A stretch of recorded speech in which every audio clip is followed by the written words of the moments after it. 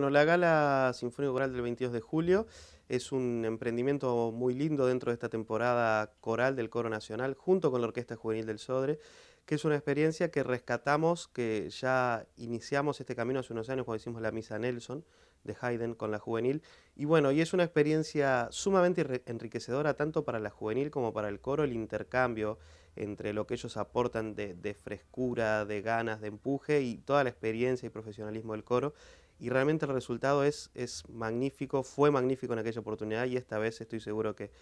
será igual. El, concierto es el viernes 22 de julio, eh, en primera instancia haremos la cantiga de Jean Racine, que es una obra de, de Foré, que irá con órgano y coro de cámara, un coro de 30 personas nada más. En el órgano tocará Noel Fostel. Luego tocará Leticia Gambaro, que es una joven violista uruguaya muy talentosa, perteneciente a la Orquesta Juvenil, que concursó el año pasado, y ellos le dan la posibilidad eh, una iniciativa bárbara de que toquen la de la reta junto con su orquesta y tocará el concierto en re mayor de Hofmeister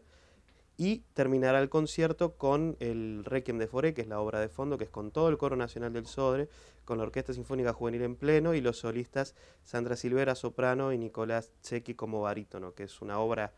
emblema, una de, los requiem más este, aclamados de la historia de la música occidental y que tiene una riqueza tímbrica y compositiva que, bueno, que, en la sala de la reta será, será una delicia y que va a permitir justamente conjugar a la, a la juvenil y al coro nacional nuevamente.